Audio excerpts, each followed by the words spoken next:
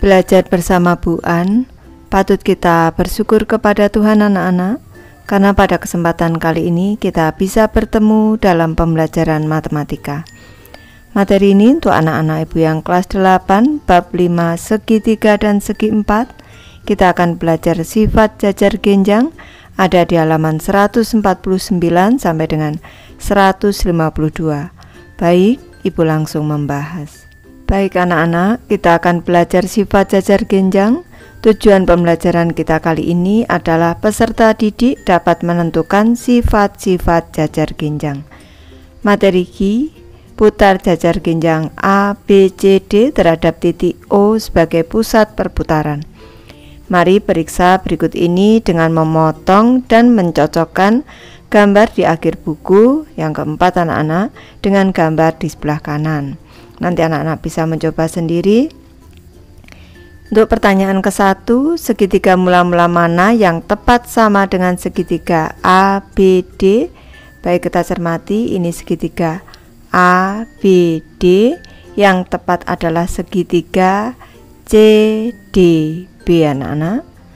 Selanjutnya ke pertanyaan kedua, pasangan segitiga mana yang tepat selain segitiga ABD? Yaitu segitiga A, B, C dan segitiga C, D, A.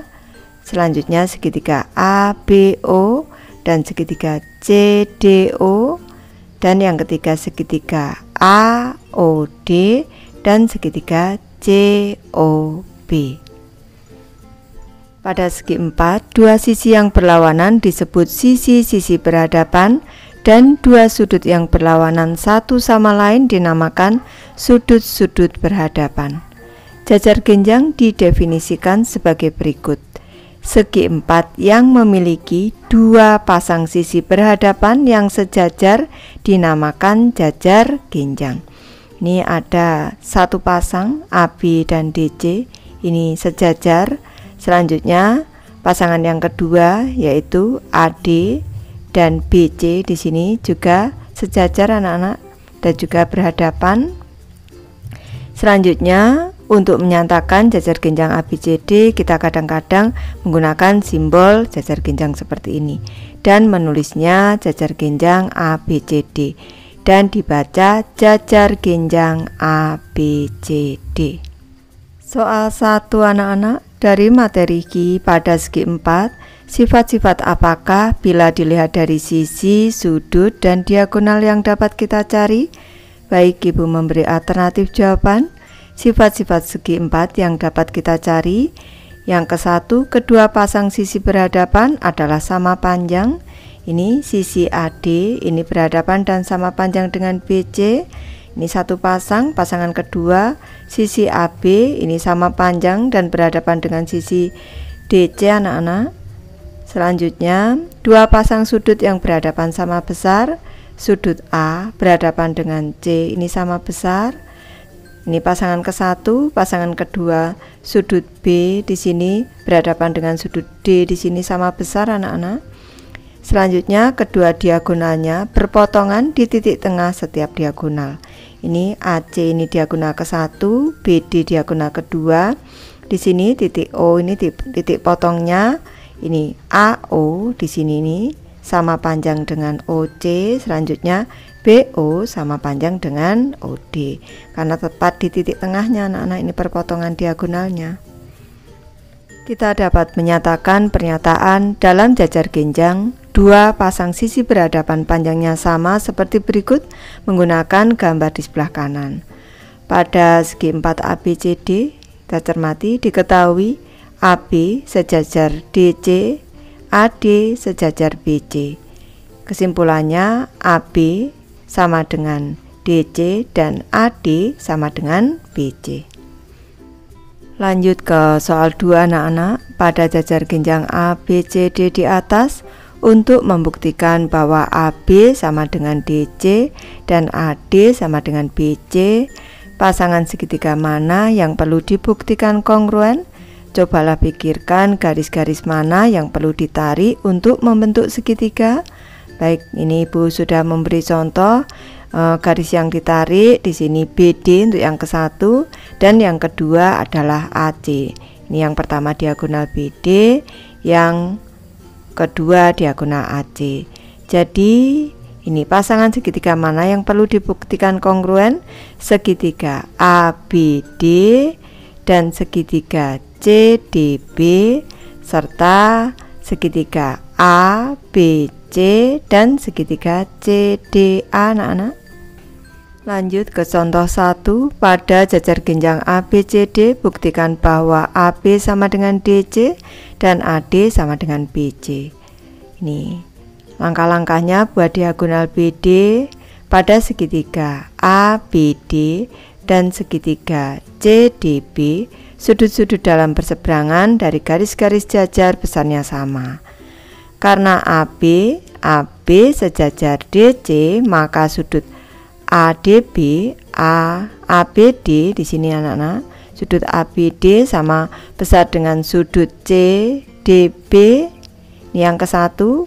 Selanjutnya karena AD sejajar BC ini maka besar sudut ADB di sini. Ini sama besar dengan sudut ini CBD anak-anak. Ini pernyataan kedua. Dan BD adalah sisi persekutuan di sini ini BD di sini sisi persekutuan. Dari 1 2 dan 3 ini 1 2 dan 3 dan menurut aturan kekongrenan sudut sisi sudut sudut sisi sudut ini. Maka segitiga ABD kongruen dengan segitiga CBD anak-anak. Segitiga ABD kongruen dengan segitiga CDB dengan demikian AB ini AB di sini sama dengan DC dan AD di sini sama dengan BC di sini. Dari segitiga AOB kongruen dengan segitiga BOB ini bukan anak-anak. Ini karena pada contoh satu ini dari segitiga ABD segitiga ABD kongruen dengan segitiga CDB yang ditunjukkan pada pembuktian di contoh 1 kita dapat simpulkan bahwa besar sudut A sama dengan besar sudut C. Besar sudut A di sini sama dengan besar sudut C di sini.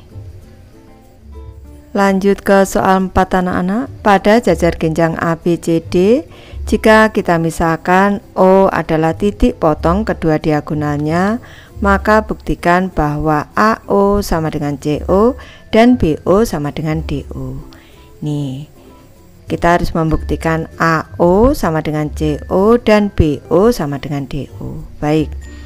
Karena sudut dalam perseberangan di segitiga ABO, ABO di sini dan segitiga CDO di sini untuk garis sejajar AB, AB sejajar DC dan dari AB sejajar DC ini maka besar sudut BAO BAO di sini ini besarnya sama dengan sudut DCO ini garis jajar di sini ini dipotong AC ini AB sejajar DC dipotong AC ini merupakan dua sudut dalam perseberangan. Ini besarnya sama. Ini menjadi pernyataan yang ke satu. Selanjutnya ini ABO sudut ABO ABO di sini nih. Nih besarnya sama dengan sudut CDO di sini. Nih di AB sejajar DC dipotong BD ini juga dua sudut dalam perseberangan karena sisi berlawanan dari jajar genjang maka AB sama dengan CD AB AB sama dengan CD di sini. Ini sama panjang anak-anak. Ini sisi berlawanan atau sisi yang berhadapan anak-anak. Nih, menjadi pernyataan yang ketiga. Nih. Selanjutnya dari 1 2 dan 3 ini tadi dan menurut aturan kekongruenan sudut sisi sudut ini sudut sisi sudut maka segitiga ABO kongruen dengan segitiga CDO. Oleh karena itu, AO, AO di sini AO sama dengan CO dan BO di sini BO sama dengan DO bisa dibuktikan. Hal-hal yang sudah kita selidiki sejauh ini dapat dirangkum menjadi sebuah teorema berikut. Ini sifat jajar genjang anak-anak. Dalam sebuah jajar genjang, sifat-sifat berikut berlaku. Yang ke satu, dua pasang sisi berhadapan memiliki panjang sama. Ini sisi yang berhadapan, panjangnya sama atau berlawanan anak-anak. Ini selanjutnya, dua pasang sudut berhadapan memiliki ukuran sudut yang sama besar. Ini di sini sama dengan di sini. Selanjutnya, yang di sini berhadapan dengan di sini sama besar. Yang ketiga, kedua diagonal berpotongan di titik tengah setiap diagonal. Ini sama panjang di sini. Di sini sama panjang dengan yang ada di sini. Lanjut ke soal 5 anak-anak. Pada jajar genjang ABCD pada gambar-gambar berikut, carilah nilai dari X dan Y. Ibu mulai dari soal ke-1. Ini kita cermati. Ini ada jajar genjang A, anak-anak. Ini kita menentukan X derajat dulu anak-anak. Ini besar sudut A besar sudut C sama dengan besar sudut A besar sudut C. Di sini sama dengan besar sudut A. Jadi X derajat X derajat sama dengan sudut A nya adalah 70 derajat. Nih selanjutnya Y nya anak-anak perlu anak-anak ketahui kalau di sini nih kalau didekatkan di sini nih. Ini sama dengan ini sudut yang berdekatan seperti ini ini besarnya 180 derajat anak-anak. Ini. Ke sini juga 180 derajat ke bawah sini juga sama. Ini juga 180 derajat. Jadi besar sudut Y di sini. Ini. Y derajat sama dengan 180 derajat dikurang dengan 70 derajat sama dengan 110 derajat Lanjut ke soal kedua anak-anak. Nih, kita cermati jajar genjang ABCD. Ini kita diminta menentukan X dulu. Berarti XCM nih. Ini kalau X saja berarti 70 ini anak-anak. Kalau X sama dengan 70, Y sama dengan 110 karena ada derajatnya bertambah derajat. Sekarang X anak-anak ini panjang AB ini sama dengan DC Berarti X ini sama dengan 4 cm. Selanjutnya Y di sini ini diagonal di sini.